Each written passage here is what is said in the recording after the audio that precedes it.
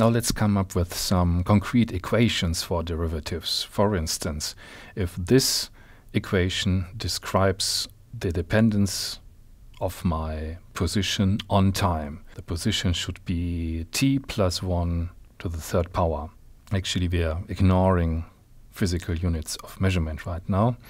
What would the rate of change be? Let's magnify a portion of that curve. Let's say this is some time t, and this is a little later, t plus h. Throughout this course, h will denote a small increment of time. Then the x value here is t plus 1 to the third power, and the x value here is t plus h plus 1 to the third power.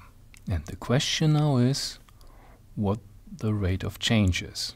What we're interested in is the ratio of the gain in x to the time step that we're making. This side obviously has a length of h, and this side has a length of t plus h plus 1 to the third power minus t plus 1 to the third power. So let's write down the ratio. t plus h plus 1 to the third power minus t plus 1 the third power divided by h.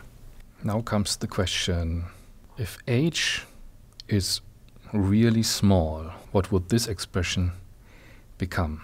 Would it become t plus something that can be neglected for very tiny h? Would it become t plus 1 square plus something that we can neglect?